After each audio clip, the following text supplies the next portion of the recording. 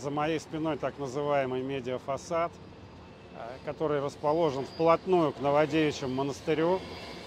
И от его э, неестественного сияния фактически слепнут жители десятков домов, находящихся здесь, в районе Хамовники.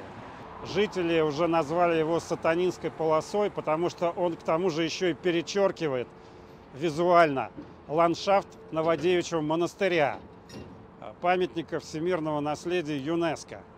Зачем московские чиновники устроили это безобразие на здании, которое принадлежит городу?